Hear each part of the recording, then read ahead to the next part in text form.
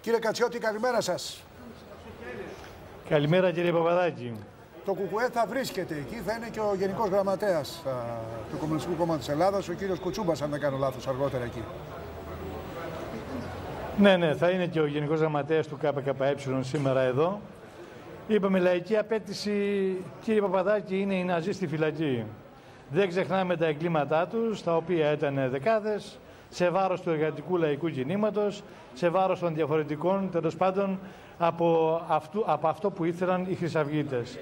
Ε, δυστυχώς όλη αυτή την περίοδο είχαν την ανοχή του συστήματος και φαίνεται ότι ο λαός ε, δεν μπορεί να αποδεχτεί, να το πω αυτή την ανοχή, απαιτεί την καταδίκη τους, ήταν μια εγκληματική οργάνωση, είναι ναζιστές, είναι οι απόγονοι όπως λένε του 1945, οι, οι τιμένοι τέλος πάντων, είναι αυτοί που συνεργάστηκαν με τους Γερμανούς, είναι οι Ναζί και δεν μπορεί ε, ε, ο λαός, ο ελληνικός λαός να αποδεχτεί αυτοί να δρουν ανενόχλητοι ενάντια στο λαό μας, ενάντια στα δημοκρατικά τους δικαιώματα η άποψή σας είναι ότι θα υπάρξει, γιατί εδώ υπάρχει ένα ερωτηματικό εάν τι απόφαση θα βγει σήμερα από το δικαστήριο με δεδομένο ότι είχαμε και την ε, εισήγηση της Αγγελέως το Δεκέμβριο για απαλλακτικές, ε, ε, για απαλλαγή των βασικών συντελεστών της Χρυσής Αυγής.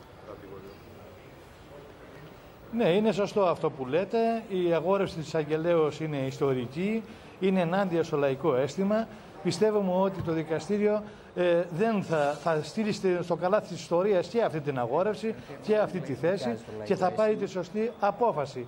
Η σωστή απόφαση είναι να ζει στη φυλακή, η Χρυσή Αυγή εγκληματική οργάνωση. Αυτή είναι η λαϊκή απέτηση και ο λαός ε, θα κρίνει πολύ αυστηρά, να το πω έτσι, και την απόφαση αυτού του δικαστηρίου. Κύριε Κατσιώτη, σας ευχαριστούμε πάρα πολύ.